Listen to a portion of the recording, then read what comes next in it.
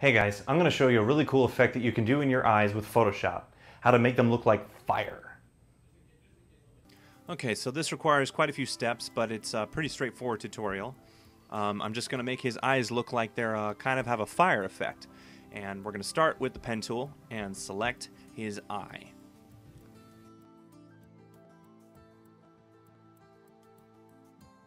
Okay, now that we have selected, right click on your mouse and click Make Selection and your feather radius should be at 3 pixels.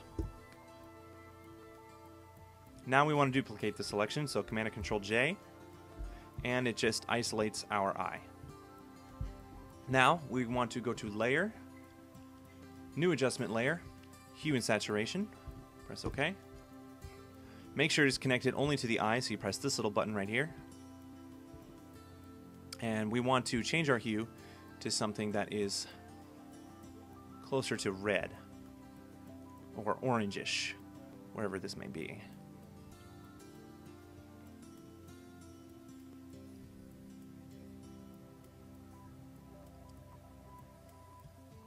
Up the saturation, so it definitely looks more... There we go, that's not bad. It's pretty good. Now, we're going to do it again, only with a different adjustment layer. Layer, new adjustment layer, photo filter.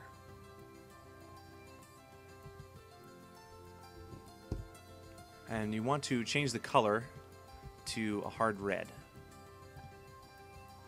And keep the density at 25%, that should be fine, and also make sure that it is connected only to the eye.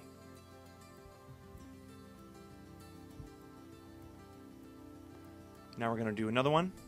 Layer, adjustment layer, curves.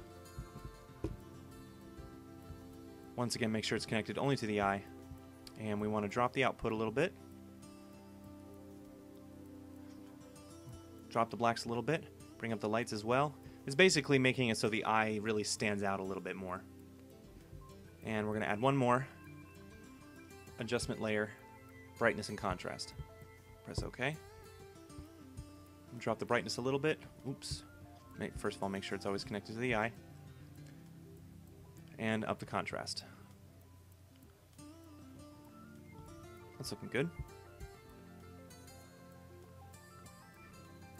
Now, we want to make sure that our uh, foreground and background colors are normal, so black and white. So, now we want to Command or Control click on Layer 1's thumbnail. That way we can select the item, the eye itself. Now that the eye is selected, we want to create a new layer and we want to put it on top of our selection. And make sure that it is still you still have the selection marks. Go to filter render clouds. And press command and control Alt option and F to change the contrast to something that works. That should be pretty good because it's got a nice little black mark in the middle of the eye. Now we're going to actually select layer 1's thumbnail. Now with layer 2 still selected go to Filter, Render, Difference Clouds. And uh, again, press Command or Control, Alt Option, and F to get different effects until you find something you like. That's pretty cool. And now, we're going to change the blend mode on layer 2 to dodge.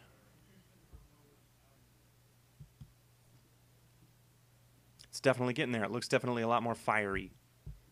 Now we're going to add two more adjustment layers. We're going to layer, adjustment layer, photo filter. Press OK. And uh, change the color to blue. Make the density about 20%. And change the filter to a deep blue. And then we're going to add another, and then we're going to add curves again. Layer, new adjustment layer, curves. And once again, just up the lights, First of all, make sure it's connected to the eye. And drop the darks. And there you go. We have a fiery looking eye. It definitely looks like it's on fire. Kind of a futuristic kind of thing going on too. Alright guys, I hope you enjoyed this tutorial. If you have any questions or uh, requests regarding touch-ups or enhancements for photographs with Photoshop, send me an email to request and please be sure to also rate, comment, and subscribe below.